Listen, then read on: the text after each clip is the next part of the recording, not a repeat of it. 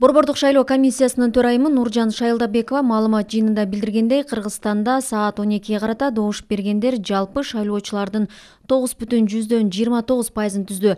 Добуш берүүгө активдүү катышып жаткандар ош облусунда катталууда. Андан кийин ысык көл облусу жана бишкек шаарында болууда. Бишкек шаары боюнча отуз жети миң тогуз жүз кырк эки шайлоочу добуш берүүгө катышып бул тогуз бүтүн жүздөн он эки пайызды түзөт. Жалал абад областы боюнча алтымыш эки миң сегиз жүз алтымыш жети шайлоочу президенттик шайлоого катышып бул пайыз менен тогуз бүтүн жүздөн кырк үч пайызды түзөт.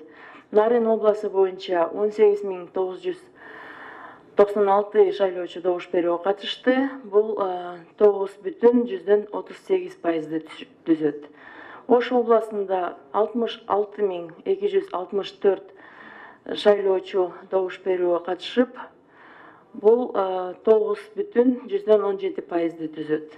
Талас областы боюнча добуш берүүгө президенттик шайлоодо он үч миң жүз сексен төрт шайлоочу катышты.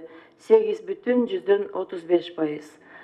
Чүй областы боюнча кырк беш миң төрт жүз элүү эки шайлоочу добуш берүүгө катышып Э, э, жети бүтүн жүздөн алтымыш сегиз пайызды түзөт баткен областы боюнча э, жыйырма алты миң жети жүз сексен сегиз шайлоочу добуш берүүгө катышты бул тогуз бүтүн жүздөн бир пайызды түзөт чет өлкөдөгү участкалардан дагы маалымат келип түшүп атат саат он экиге чет